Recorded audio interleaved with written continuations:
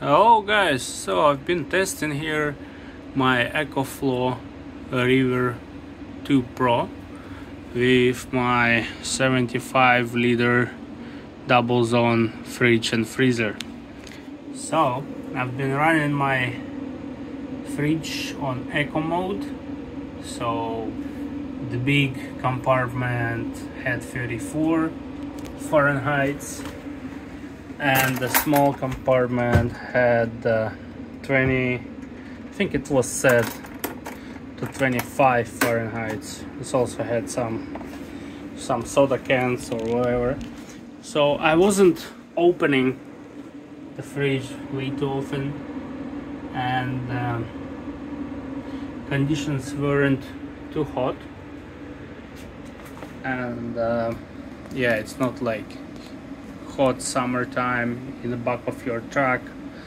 So I don't think it's uh, this testing is you know close to normal camping conditions. But anyways currently we are at 3% of charge. And this fridge been running for uh, 41 hours.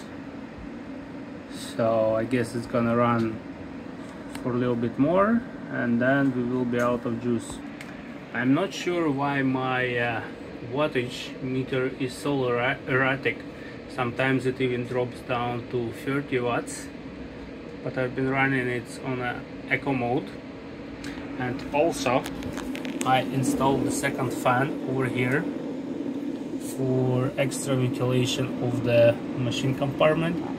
It was running a little bit hot before so I think my increase in the amount of work hours can be granted to this extra fan because much more cooling out there is going on and condenser cools much better. And that extra fan only draws another 3 watts. So it's much good it's very good addition. And my kid is trying to help me to film here so thank you very much for your attention